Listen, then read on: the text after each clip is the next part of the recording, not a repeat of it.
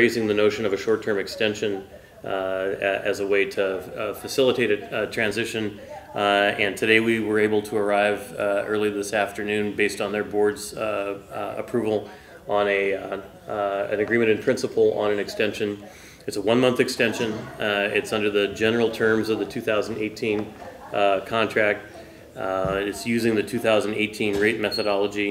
Uh, We are uh, compensating them in addition to the rate methodology, $5 million for the extension for the transition work that they will do to help facilitate moving their uh, customers from uh, FamilyCare to one of the three CCOs that'll, um, uh, that'll be taking over the business. We've also basically agreed to hold each other harmless uh, in terms of any kind of legal action resulting from doing that transaction, that transition work.